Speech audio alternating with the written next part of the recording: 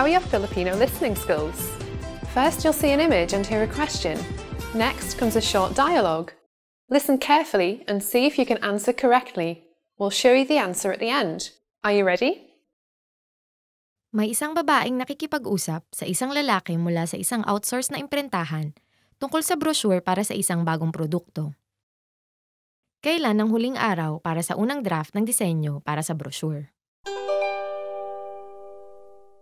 Napagdesisyonan namin na ilunsad ang bagong produkto sa ikalabing lima ng Oktubre at gusto namin ialok sa iyo ang kontrata para sa paggawa ng brochure.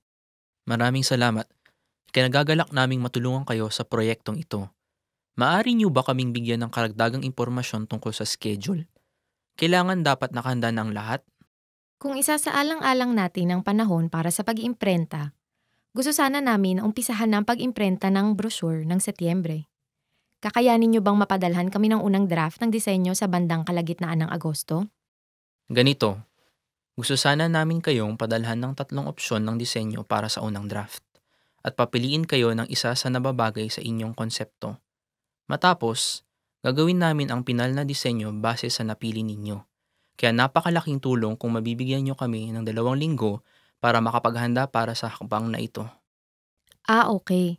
Siguro sapat na ang isang buwan para makapili kami ng isa sa mga disenyong gagawin ninyo at makapagdesisyon. O sige, aasahan namin kayo. Kayo ay nasa mabuting mga kamay.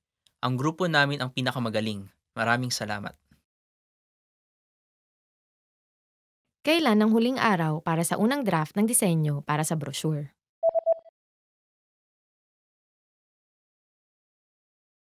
May isang babaeng nakikipag-usap sa isang lalaki mula sa isang outsource na imprentahan tungkol sa brochure para sa isang bagong produkto.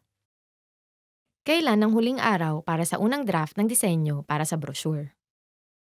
Napagdesisyonan namin na ilunsad ang bagong produkto sa ikalabing lima ng Oktubre at gusto namin ialok sa iyo ang kontrata para sa paggawa ng brochure. Maraming salamat. Kinagagalak naming matulungan kayo sa proyektong ito.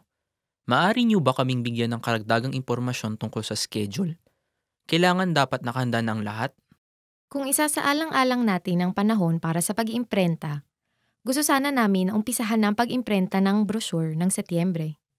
Kakayanin niyo bang mapadalhan kami ng unang draft ng disenyo sa bandang kalagitnaan ng Agosto? Ganito, gusto sana namin kayong padalhan ng tatlong opsyon ng disenyo para sa unang draft at papiliin kayo ng isa sa nababagay sa inyong konsepto.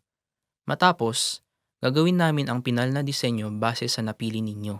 Kaya napakalaking tulong kung mabibigyan nyo kami ng dalawang linggo para makapaghanda para sa hakbang na ito. Ah, okay. Siguro sapat na ang isang buwan para makapili kami ng isa sa mga disenyong gagawin ninyo at makapagdesisyon. O sige, aasahan namin kayo.